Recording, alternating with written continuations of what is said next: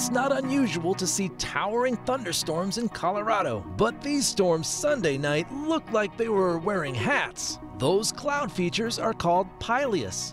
They form when the air rushing up into the thunderstorm is rising so fast that it overshoots the top. If there is just the right temperature and amount of moisture in the air above the storm, it forms a cap. They were spotted all over the Front Range Sunday. In Greeley during the late evening, right at sunset in Berthoud, and they were even seen after dark in Douglas County. They look similar to these clouds that we see frequently along the Front Range because pileus is a type of lenticular. They remain stationary over top of a thunderstorm until the conditions that are creating them are no longer there or they get swallowed up by the rest of the thunderstorm.